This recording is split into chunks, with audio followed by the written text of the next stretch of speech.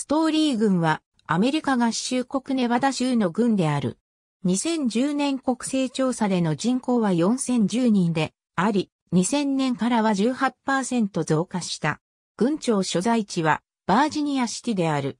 ストーリー軍はリノスパークス都市圏に属している。ストーリー軍は1861年にネバダ準州が創設された時の旧軍の一つだった。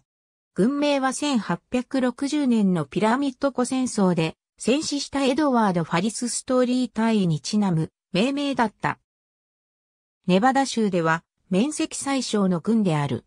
その小ささにもかかわらず、ネバダ準州が創設された1861年には最も人口が多い軍だった。バージニアシティは軍創設時から一貫して軍庁所在地である。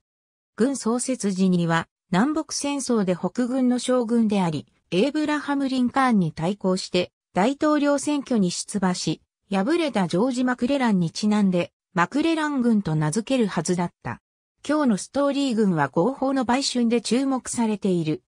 2006年の一般選挙時に大麻政策プロジェクトが発議し、州全体で住民投票に付された大麻に課税し規制する法案にストーリー軍のみが賛成多数となった。